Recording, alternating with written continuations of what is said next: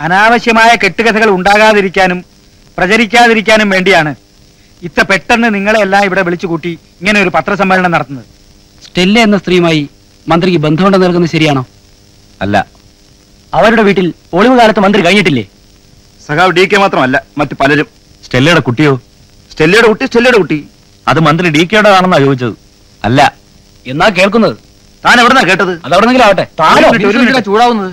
ഇത്തരത്തിൽ മുന്നോട്ട് പോയാൽ ഈ പത്രസമ്മേളനത്തിന് അർത്ഥമില്ലാതാവും. കേട്ടുകേൾവി വാർത്തയായിട്ട് അച്ചടിച്ചിറക്കാനാണെങ്കിൽ ഇങ്ങനെ ഒരു പത്രസമ്മേളനത്തിന്റെ ആവശ്യമേ ഇല്ലല്ലോ.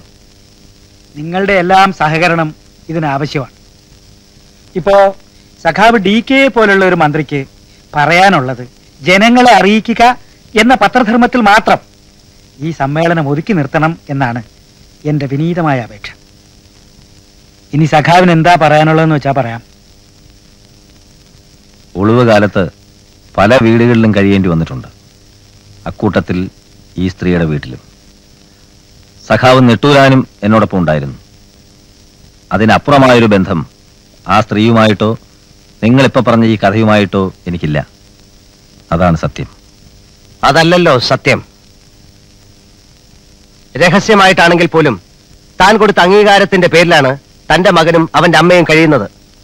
പരസ്യമായിട്ട് താൻ അത് നിഷേധിച്ചപ്പോൾ അവർ അനാഥരായടോ? ഞാൻ പിന്നെ എന്ത് ചെയ്യണമായിരുന്നു സമ്മതിക്കണമായിരുന്നു. പത്രസമ്മേളനത്തിൽ ഉറച്ചു വിളിച്ചു പറയണമായിരുന്നു.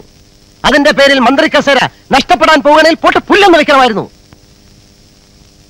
അതാണ് ഡി കെ തന്നെയും എന്നെയും പോലുള്ള കമ്മ്യൂണിസ്റ്റുകാരൻ ചെയ്യേണ്ടത്.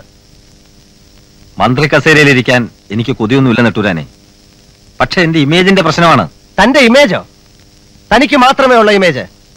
തന്റെ കുഞ്ഞിനെ നൊന്ത് പ്രസവിച്ച സ്റ്റെല്ലയ്ക്ക് നാട്ടുകാരുടെ മുമ്പിൽ ഒരു ഇമേജും ഇല്ലേ ഇഷേ പ്രോസ്റ്റിറ്റ്യൂട്ട് തന്റെ കുഞ്ഞ്. ഇഷേ ബാസ്റ്റേഡ് നെട്ടൂരാനെ. ഓടോ. നെട്ടൂരാനെ. ഞാൻ നോക്കോടോ സ്റ്റല്ലേ തന്റെ കുഞ്ഞിനെ ഞാൻ വളർത്തും. എനിക്ക് തന്നെ പോലെ ഇൻകുലാബിന്റെ ഇമേജിലല്ലോ സഖാവെ നഷ്ടപ്പെടാൻ.